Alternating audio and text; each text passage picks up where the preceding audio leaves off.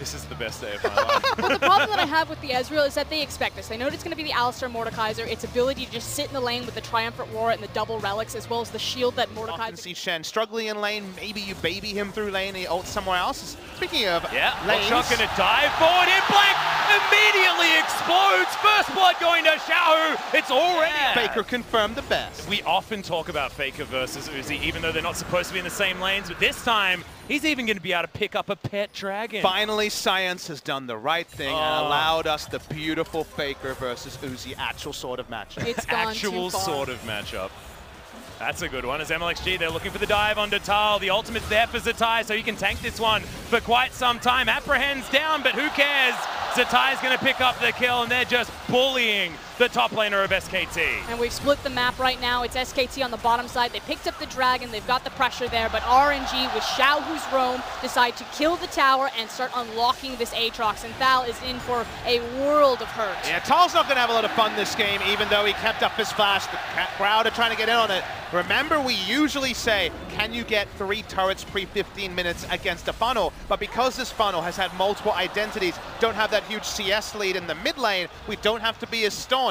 It's still a good move by RNG. Yeah, it's actually really good work from Xiaohu and the fact that Bang hasn't been able to pick up a whole bunch of these camps. Tower falls outer in the bottom lane for Uh-oh. SKT, but RNG, so much control. They're even sticking around. Bring to him back into relevance. It's what Ming wants to do. He has a blasting plan if they want to look in, but it's a third turret of the game, the side of RNG. Yeah, and you have to remember that here as well, threatening with the taunt. Uzi turns up, they don't get the outer turret, but it's not going to be the fight, and that's a free one for RNG. Four turrets by 16 minutes. That seems like a pretty good clip as Faker puts down Shelly. He's going to get a real big charge and take the second tower for SKT, but an accelerated game on both sides. Oftentimes you'll see that the funnel team won't get any of these structures, so maybe it actually helps out the LCK, but outer turret in the mid lane, it'll be five turrets really soon. In goes MLXG, he's got Stance United, and Thal says, what the hell is this?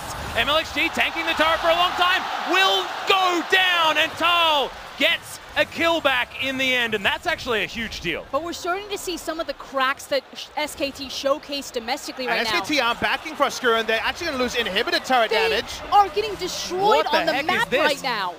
What is 15 this seconds for Thal. This is definitely going to go down. Teleport to come in as SKT shouldn't be able to take this one as okay. Xiao just going to get exploded. That's a sixth member available. Does SKT think that they'll be able to just push their way all the way through? They do have a ghost available Unless to SKT's execution is on point. yeah, Faker with the Zhonya's is actually a huge deal here, though, as RNG want to start this fight. The Dragon's going to be in amongst as well as Wolf goes into his stopwatch. They're trying to jump into the back line as Faker uses his Zhonya's now. Xiaohu, he has his Wolf tanking up so much of this damage, but Blank getting down so low. Thal resetting in amongst the fight, wants to find the reset onto Uzi. Will the passive be enough? I don't think so, but Faker has got the E, and he's got a big old dragon friend. He's got Warrior and Trinity Force picked up from MLXG. He's underneath this turret. They're going to grab the inhibitor turret all too easily. Well, what We're else is happening on the map is what we need to know. For SKT, they're going to give up an inhibitor to take a Baron. Is this going to be worth it? They even know what's going on. RNG, they may even be able to get there. They've got teleport on Zatai Ming, threatening. Teleport's coming in from SKT. We've started the engage as Ming. He's soaking up most of the damage, but Uzi is on the side. Blank's going down. Bang's Low bang dies immediately. It's a disaster for SKT. They'll get the Baron as well. All too easy. It's Shen that gets it, and it's all over. RNG dominate SKT. And it's an immediate teleport They might win the game. That's what I'm They're going to end it.